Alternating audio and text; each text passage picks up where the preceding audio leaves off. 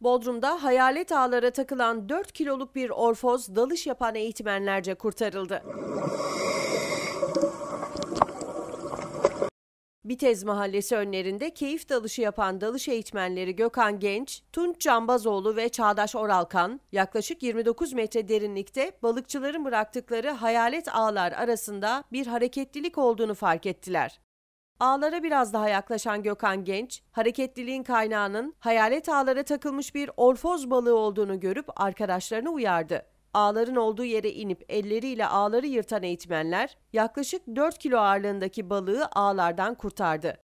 Kurtarılan balık hızla daha derinlere yüzerek gözden kayboldu.